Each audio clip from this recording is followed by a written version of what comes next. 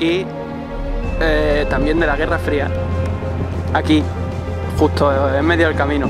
Entonces, pues había que venir, así que vamos a intentar entrar. en teoría el museo es gratis, lo único que te cuesta son 3, libras dejar el coche, así que debe de estar bien.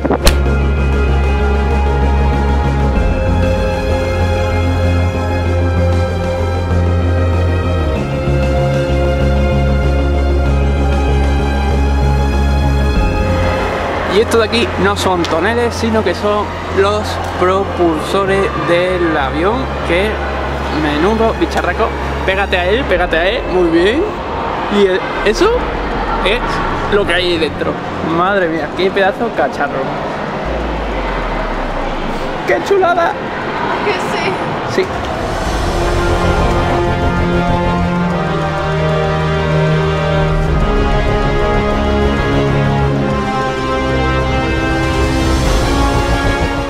Que vais a ver ahora es, muy chulo, no sé si esto es lo que se llama ahora Harrier o algo así, pero si os dais cuenta, esto es las turbinas, se pueden inclinar y entonces el avión despega para arriba, es para los portaaviones y ese tipo de cosas.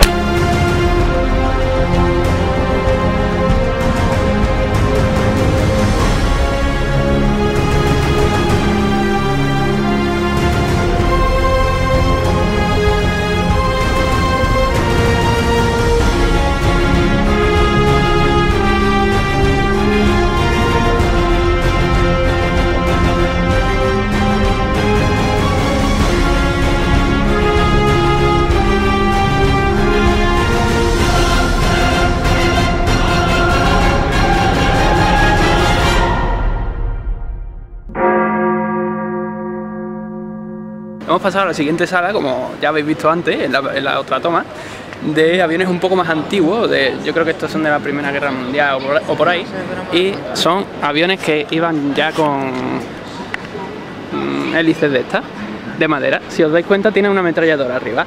Entonces un problema que había aquí es que si el, que estaba disparando ametrallateaba, también podía atravesar lo que era el, la hélice, entonces el avión pues se, se estaba autodestruyendo el solo.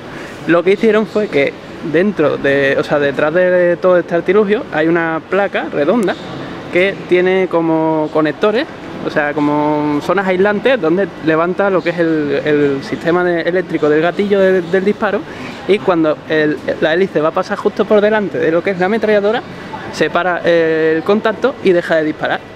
Pasa la hélice y vuelve en contacto a entrar eh, la electricidad y vuelve a disparar.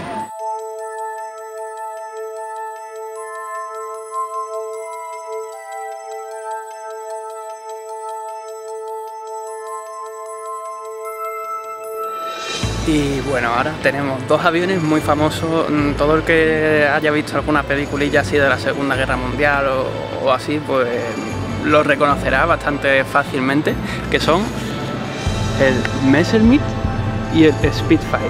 Este es un avión inglés de la RAF y este es un avión de la Luftwaffe, que es la aviación alemana. Este por lo visto, la primera vez que se vio en, en batalla fue en la Guerra Civil Española porque no sé si lo recordáis, pero bueno, si sois de, España lo recordaréis y si sois de fuera pues no, lo recordaréis porque no tendréis ni idea a lo mejor, pero mm, el Franco se unió un poco con el tema de los alemanes y Alemania nos estuvo le estuvo ayudando entre comillas a ganar su, guerra de, de, aquella manera y bueno, pues supongo que por eso se vio en España por primera vez, pero después cobró importancia a lo largo de la Segunda Guerra Mundial.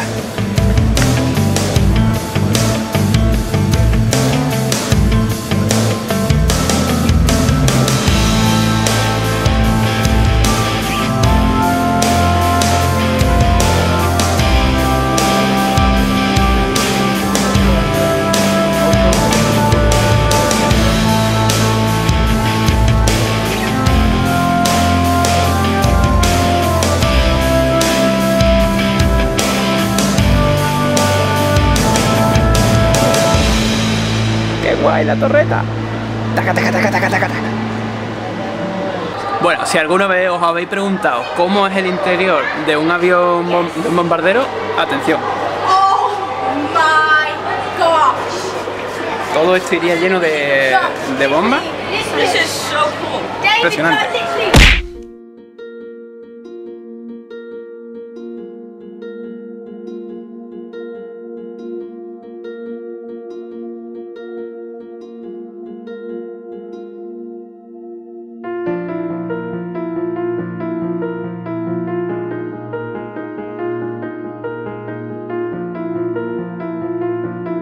Cuando ya creías haberlo visto todo en el mundo de la aviación, te encuentras con que el piloto de este avión tenía que ir así. O sea, esto es ya el no va más.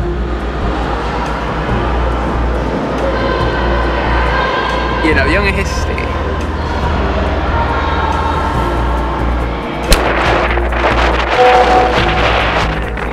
que es este, tiene por los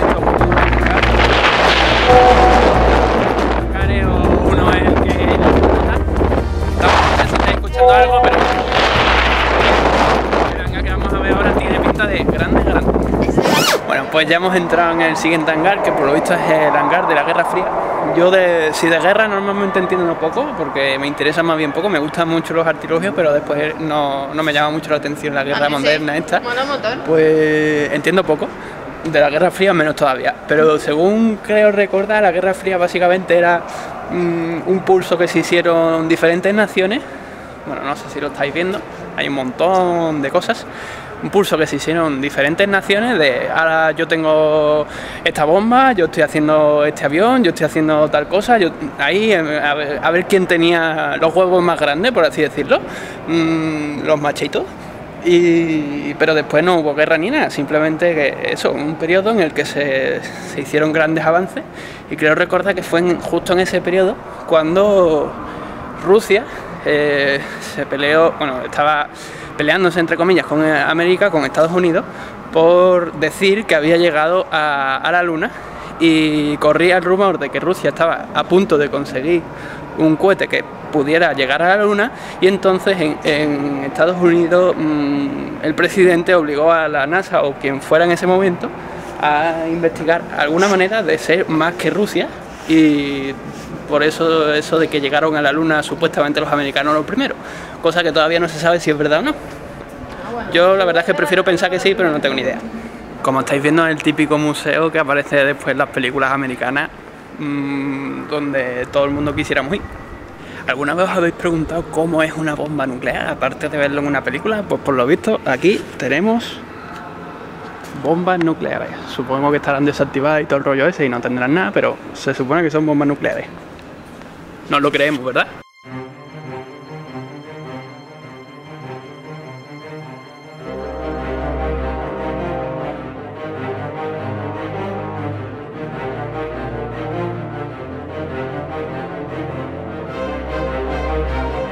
y esto no sé si es la bomba Douglas o qué, pero a mí me suena haber escuchado alguna vez hablar de eso. Lo que pasa es que no sé si me, me lo estoy inventando.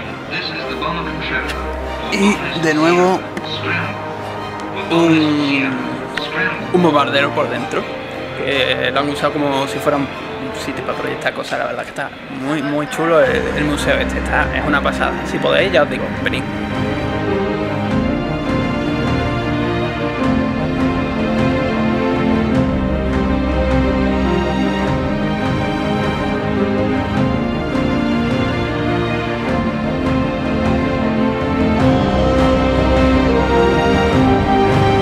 ¿Alguna vez os habéis preguntado cómo duermen los aviones? Pues así.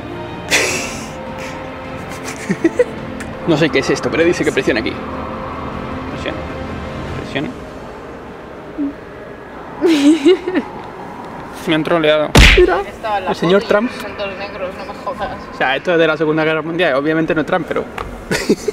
Bueno, ya había un momento en el que parecía que los aviones estaban un poco altos y no es que estuvieran, bueno, sí estaban un poco altos, pero es que nos han permitido subir un piso más y ya estamos otra vez a la altura de los aviones, que podemos decirle hola a, los pilotos y ver a los vampiros durmiendo, ¿vale? ¡Qué chulada!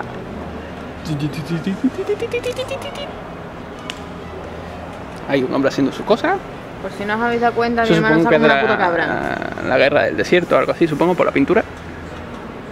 y bueno, pues ya está. Eh, vamos al ascensor porque nos vamos a subir directamente en ese cohete de ahí porque nos dejan, nos han dicho que nos van a mandar a la luna y esas cosas, entonces ahora nos, vamos, nos van a poner un traje y bueno, pues por eso estamos bajando.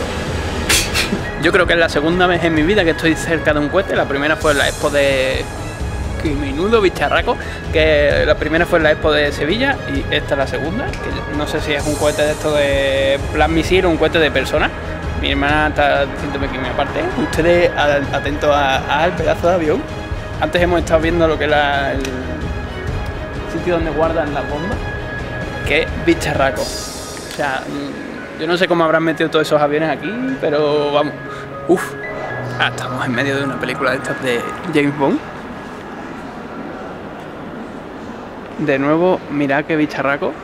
Bueno, en verdad tampoco es que sean. No sé qué hace un escarabajo ahí metido.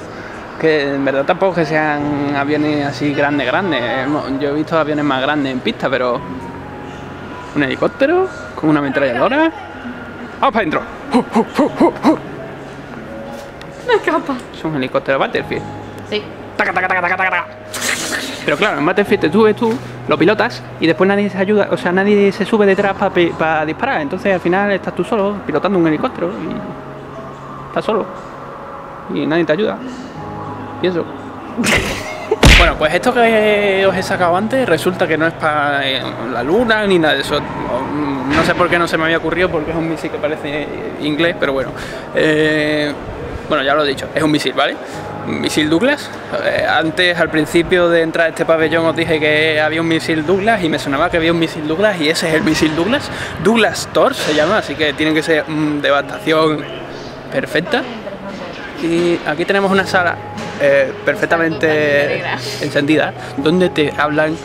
Eh, en todos los idiomas, mm, te explican bien, bien, bien el tema de la carrera espacial. Te están hablando dos a la vez, al final no suena nada. La fría terminado, está lloviendo, hace rasca, pero no tanto como al principio. Sí, está es verdad, está drisleando y... y vamos al hangar 3 que pone 1 y nada, pues ese es el siguiente hangar, es bastante más feo. A ver qué es lo que nos encontramos, pone transporte, entrenamiento, engine que no me acuerdo qué era, máquina misiles y galería de arte. O sea, bueno, pues ya hemos entrado en el siguiente hangar y lo que hay es un montón de motores. Que mola un montón. motores, ¿no? Sí, claro que son motores. No sé. Que no tengo muy claro. no me jodas, que eres ingeniero, tío. Sí, ya, pero no es lo mismo un ingeniero de planta que un ingeniero de otras cosas. Que. ¿Ingeniero de qué? De planta que de otras cosas. Que eso, que hay un montón. Hay aviones y hay helicópteros, pero ya hay menos militar, parece. Y Mm, creo que nos dejan subir, así que vamos a subir, vamos a mirarlo desde arriba porque supongo, que será más interesante. No corras, o sea, aquí las ansias, tranquilo, no, no corramos.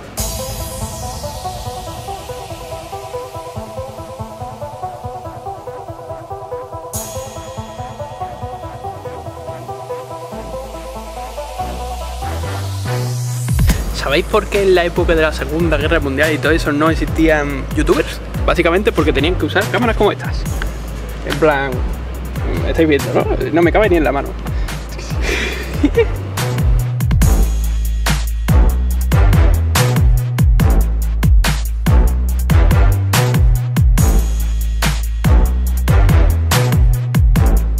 Y esto no sé exactamente si es lo que creo que es. Yo pienso que sí, porque tiene la misma estructura, que son drones, bueno, realmente son, drones, que esto no sé si, eh, ya os digo, no sé si será lo mismo porque estoy viendo cosas raras, pero en el mundo actual existen una cosa muy parecida que son como realmente drones que los echan a volar y hacen prácticas de tiro contra esos aparatos. Bueno, este os sonará, ¿no? No sé si os sonará, pero es el A400M, es un barco, un avión construido, ahora mismo está siendo construido unidades de ese tipo en, Sevilla, creo que de hecho solo se construye en Sevilla, ¿no? El A400M. Y la verdad que es un avión que hace mucha gracia encontrárselo en, eh, o sea, encontrárselo en un museo como este. Aunque, como dice mi hermana, pues aquí en Inglaterra no se valora mucho la ingeniería española irónico, ¿no? Porque mucho de lo que hay de ingeniería esparcido por el mundo es española, aunque no se sabe. Sin ir más lejos, me parece recordar que un montón de campos eólicos mm, son de ingeniería vasca, que básicamente son ingeniería española. O sea, tiene su, su punto gracioso, ¿no? La ingeniería española no vale un duro, pero está metida en, todo- en todos lados. En las cosas más importantes, ahí está. Bueno, pues ya hemos salido de, del hangar este, y me creía que íbamos a visitar eso, pero parece que eso ya es zona militar. De hecho, esto es zona completamente militar. No sé si os dais cuenta, pero ahí tienen al fondo. ¿Veis? Esos hangares están cubiertos de tierra. Básicamente es una construcción estratégica, o como se leche se diga eso, que se, se cubre de tierra para que si pasa alguna vez un avión con intención de destrozarlo, pues se y piensa que es tierra y no, no, no tira ninguna bomba ni nada de eso. Y esto de aquí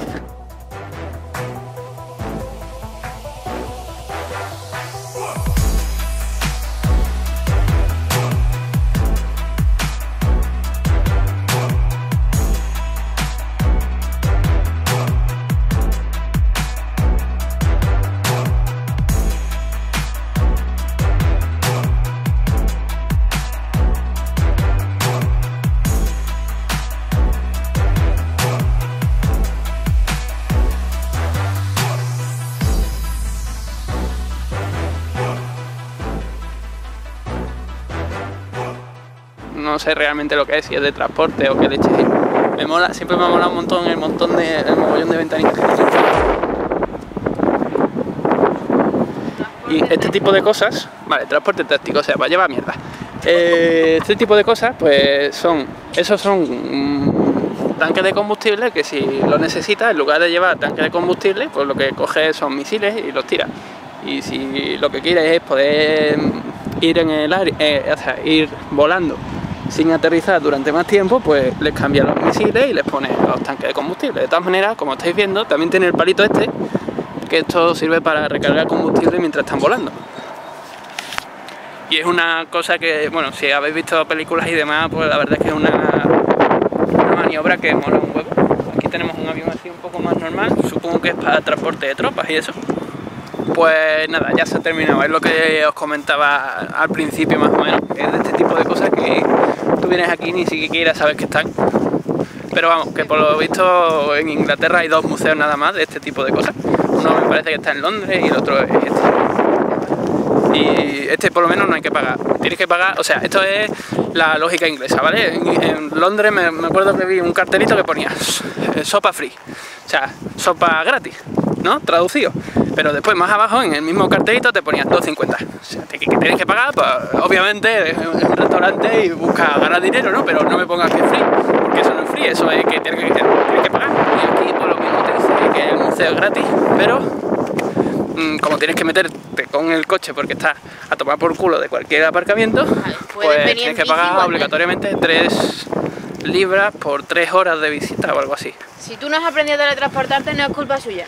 Que eso, que nos vemos porque no quiero que se mueva mucho más la cámara.